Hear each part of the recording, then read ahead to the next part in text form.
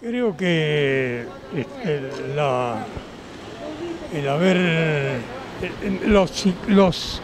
50 años de militancia que tengo en el, siempre en el mismo lugar, en, el peronismo,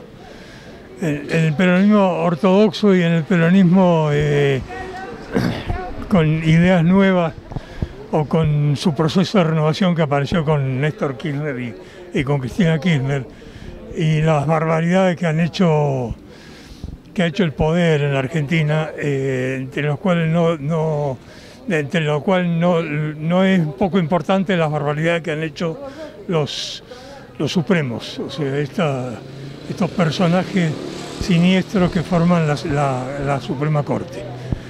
Eh, después del hermoso ejemplo que nos dio Néstor cuando formó esa corte eh, con un mecanismo con una, un procedimiento que eh, prístino, transparente. Eh, después aparecieron las circunstancias que,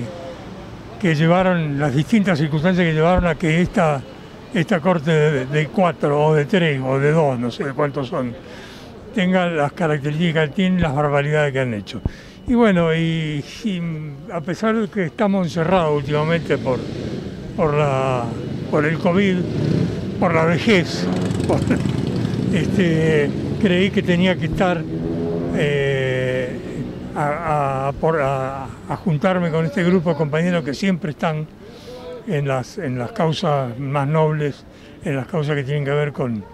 con el presente de la Argentina y con el futuro de la Argentina.